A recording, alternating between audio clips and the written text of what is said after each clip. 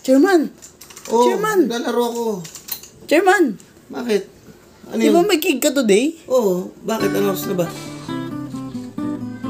Naku!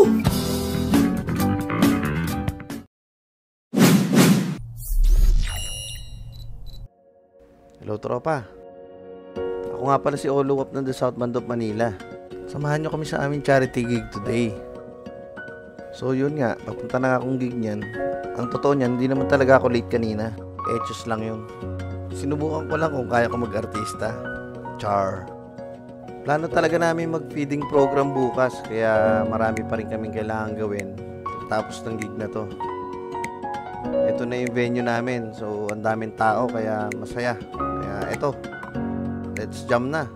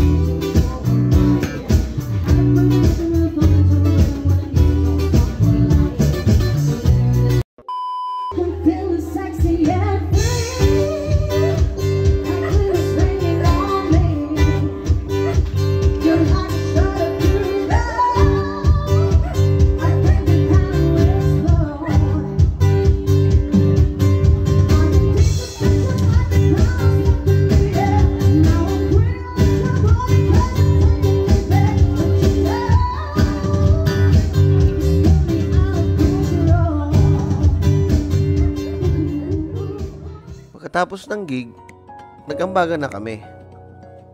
Para bukas, meron kami pamamalengke.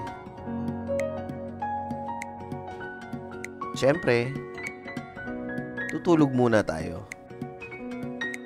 Para bukas ay mamamalengke na maaga. At ito na nga, nakatulog na ako niyang lagay na yan. Medyo madilim pa nga yung oras na yan eh. Kaya naman hindi na kami nagpatumpik-tumpik pa. Dumiretso na kami sa palengke para mamili.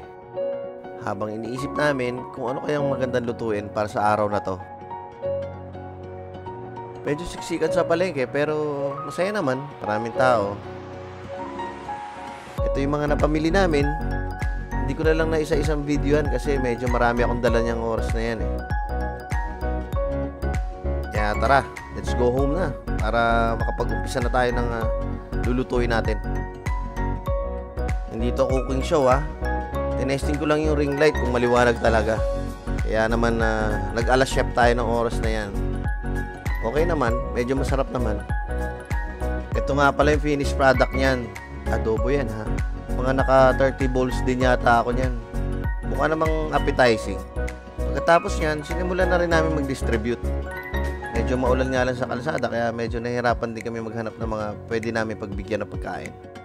Hindi na namin siguro isa-isahin kung sino yung mga nabigyan namin pero sulit naman yung araw kasi marami rin naman kami natulungan.